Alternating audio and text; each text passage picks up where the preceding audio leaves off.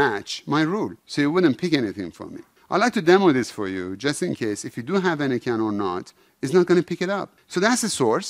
Right from here, you can go to the destination or you can click the destination from here. And what does that mean? That means, okay, I look at the 85,000 and I only pick up the transactions that have been posted with a department value of 031. Whatever mandatory dimension you have, you got to have it anyways. I don't care about it. Or you could also care about that too.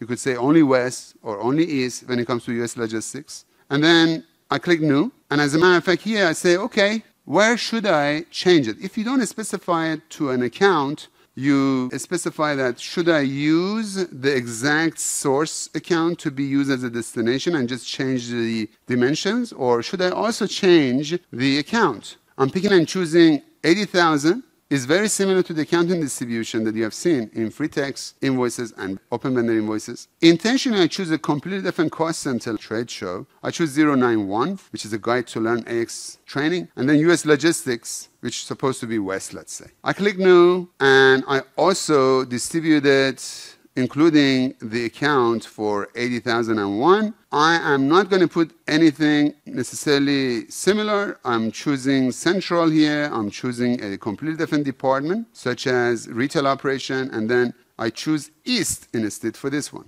So what am I doing? I'm picking and choosing right from here the source, and I say if it is 85,000, and if it's a 031, distribute it this way take it to 80,000 and 80,001 with all these values.